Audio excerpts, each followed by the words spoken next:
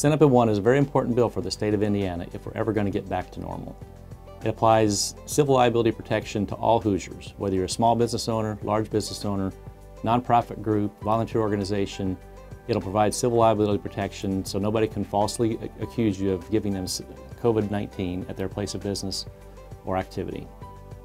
The bill provides important employee protections as well by maintaining all unemployment, uh, workman's compensation, and OSHA rules so people will always feel, feel comfortable that they have a safe place of employment.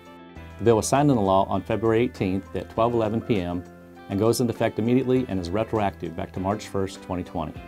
Touring the state throughout 2020 and talking to small business owners, large business owners, and all, and all types of uh, civic organizations, getting these civil liability protections in place is critical for our state to move ahead.